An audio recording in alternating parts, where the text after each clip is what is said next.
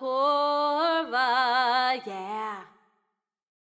One happy birthday dot com.